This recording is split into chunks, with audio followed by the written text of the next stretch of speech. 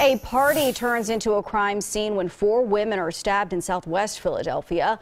This violence unfolded early this morning, just before 1 o'clock on the 2500 block of Dewey Street. Police say a large fight broke out here between two groups of women during a house party. Four women ranging from ages 18 to 40 years old were stabbed. Two of the victims were taken into police custody while the other two were taken to the hospital.